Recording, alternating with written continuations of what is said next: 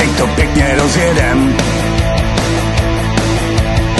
Dnes večer začnem, zítra končíme obědem.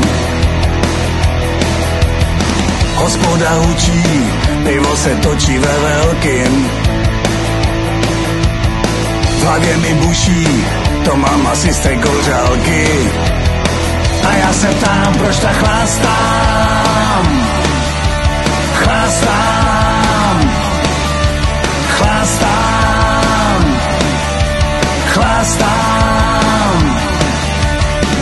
Pondělí začnu, v úterý si odpočinu.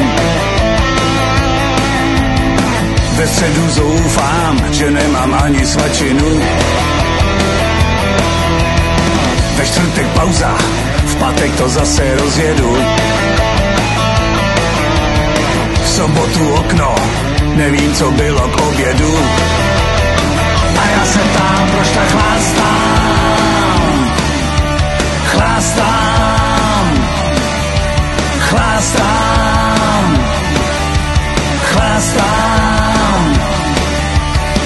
tak jsem si řekl, že už s tím chlastem přestanu.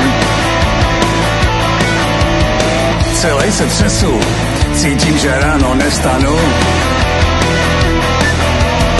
Vodu a míko mi doktor naordinoval. Pivo a tvrdí, předtím je ale varoval. Jenomže já zase chlast.